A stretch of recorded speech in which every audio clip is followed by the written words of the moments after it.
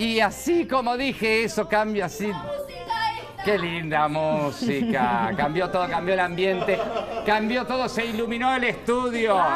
Porque Anaí se transformó. Se transformó en Catherine Benes. Exacto, muy bien. Bernes.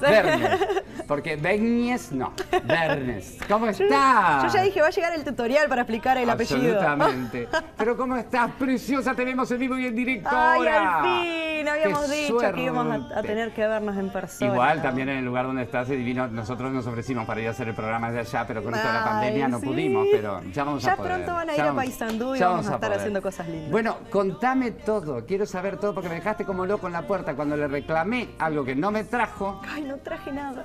Me dije, no traje nada.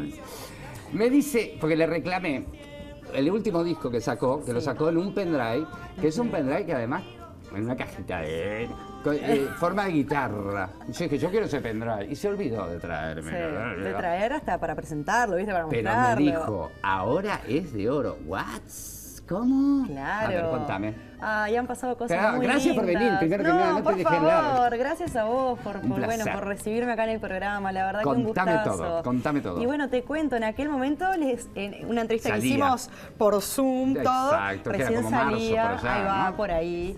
En, en, realidad, a fines de diciembre se lanzó el formato este físico, pendrive, forma guitarra, todo. Pero en el 2020 yo fui grabando las canciones, mostrándolas de manera digital.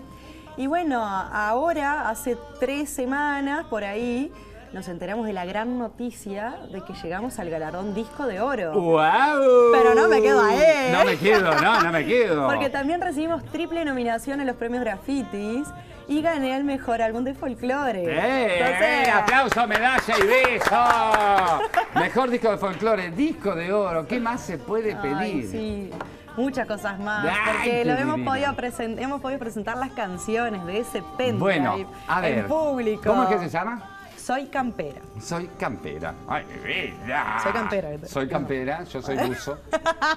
ya lo vi ya. Sí, ya más vale. Pero, pero vos estuviste realizando una, una gira, digamos así, por las escuelas, por sí.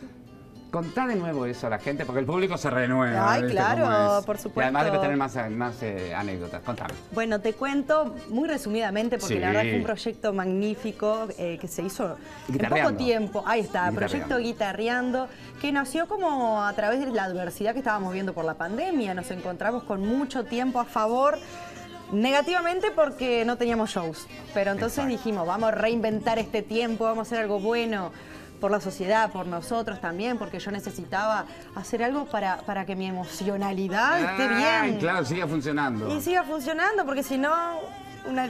yo iba a decir algo muy gaucho. ¿Qué? Una bichera. Una bichera, está bien, está bien. Terrible. Y bueno, cuestión que empezamos a planificar este proyecto totalmente a pulmón, donde varias marcas me ayudaron.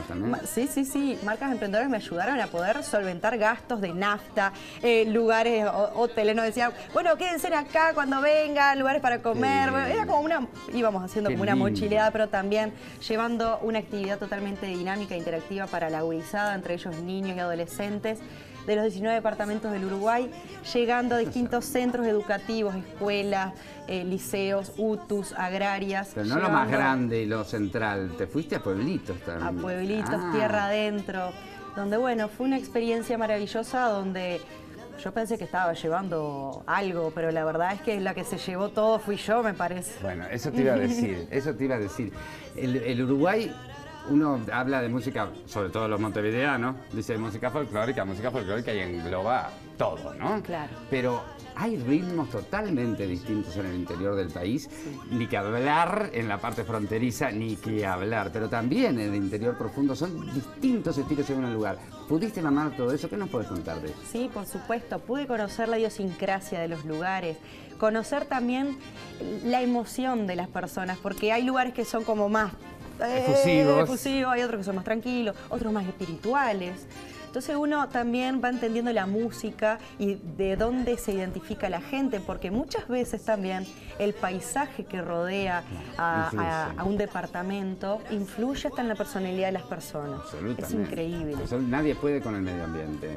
Con el ambiente el ser humano no puede, te, penetra. es impresionante. Y bueno, y como decís, eh, ritmos folclóricos hay un montón. En ese álbum que hice traté de, mostrar un montón de ritmos, pero hay muchos más. Es algo muy lindo que tiene el folclore, que es como que nunca hay techo. Es, es, rarísimo porque además se va como mezclando uno con otro. Claro. En del mismo y salen cosas, hay cosas que parecen este, polcas, pero no es una polca, porque tiene como un ritmo más brasilero. ¿Cómo que se llama lo que eh, se baila en Brasil acá arriba? Banera o bayón. Bayón. Entonces es como una mezcla que además nosotros somos expertos en mezclar cosas. Nosotros mezclamos todo. Claro. Y yo te diría también que ya desde nuestro origen, que teníamos los indígenas, que vinieron los colonizadores europeos y de todas partes que vinieron de África también, los esclavos, que era o no. Y bueno, ahí las culturas se fueron mixando. Bueno, y ya que hablaste, hablas de historia. Y la historia de Catherine, o sea, en la cuna la familia, o, la familia grande, no solo con la que convivís, ¿tenían que ver con el folclore, con el canto folclórico, con el trabajo de campo, con ¿sí? Mira, te cuento, eh, mi madre es maestra y mi padre es apicultor, trabaja con las abejas en el campo. Pero la verdad es que viene mucho más desde el lado de, de la maestra, de que sepamos sobre nuestra historia uruguaya, sobre nuestras tradiciones, nuestra cultura, como muy locatarios también. Es algo que siempre nos inculcaron en mi familia. Más que nada al lado de mi madre. Mi padre siempre acompaña, pero eh, la verdad que esa parte siempre, sí. Ahora, eh, hay todo un... Porque uno también, desde acá, Montevideo centrista te hablo. El folclore, bueno, y a ver qué canciones conocemos. Pero folcloristas como tú están escribiendo hoy. Sí. En el 2020, 2021. Sí. Entonces, y escriben sobre las historias de hoy y de lo que nos pasa hoy. Exacto. Hay una, no me puedo acordar si es que... Um, Carimbao, creo. El carimbao eh, del, baile, que, cuenta todo el baile que fuiste. Sí, bueno, exacto. Esas cosas son historias de hoy. Bueno, mira qué lindo, y acá es cuando yo digo, por algo folclore, porque el folclore habla de las cosas nuestras, esa es como la definición de por detrás, del conocimiento del pueblo.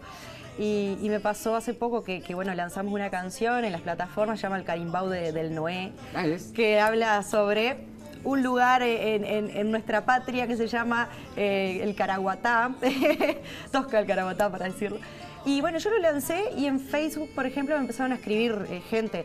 Ay, el que tenía ese boliche era mi tío. Ay, yo, ay, los bailes que se hacían en el Raúl Porcal, que es como que se habla de eso. Y yo digo, la gente lo vivió. Claro. La gente conoce, entonces, o sea, realmente estamos hablando de cosas nuestras, es como increíble. no es esas canciones de folclore que te enseñaron en la escuela o de, las danzas folclóricas, no, son letras de ahora. De ahora, sí. Es impresionante. Yo les invito a que entren en las redes y busquen a Katherine eh, y escuchen todo lo que hay, porque hay de todo. Hay incluso cosas muy viejas que ella quisiera que no estuvieran, con otros ritmos y otras cosas, pero hay un montón de cosas hermosísimas. Eh, Chichita no me puedo... Este, ¿Cómo está? Chichita. Ay, ay, pensé que estaba apareciendo justo en la pantalla no. Chichita la yegua Chichita que mi yegua, está bien, la extraño porque, ay, ahora volví a, trabajar como loca y no paro, voy de giro en giro y no tengo ni tiempo de, ensillar a Chichita y salir a cabalgar un rato. Catherine, ¿tenés planeado, ya, ya nos vamos, me están echando, pero ¿tenés planeado algún toque en Montevideo?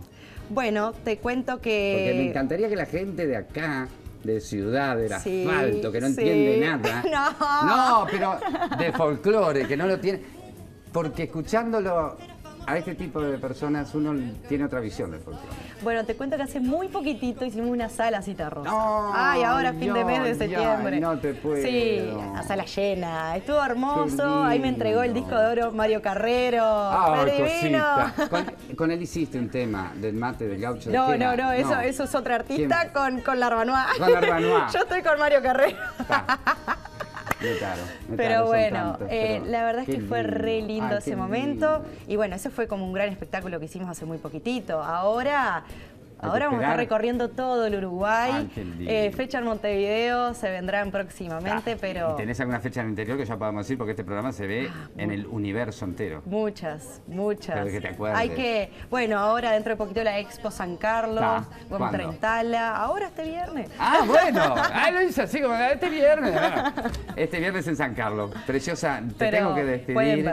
Te tengo que despedir, tenía más cosas para chusmearte. Un día en el Pajonal, ¿es la última?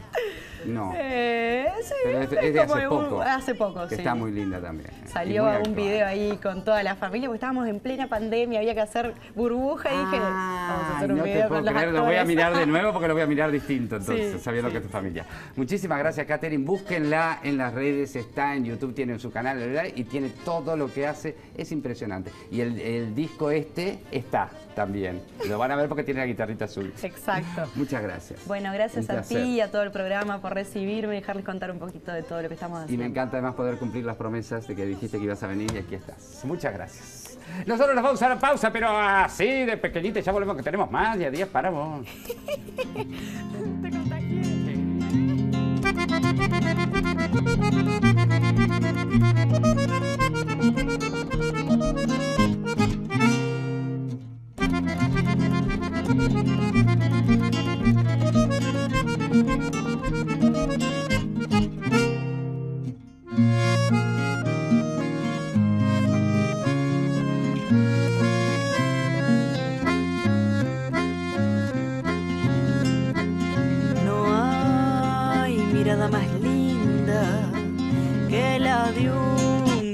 Bagual con su crinera enredada, esperando rienda y vocal.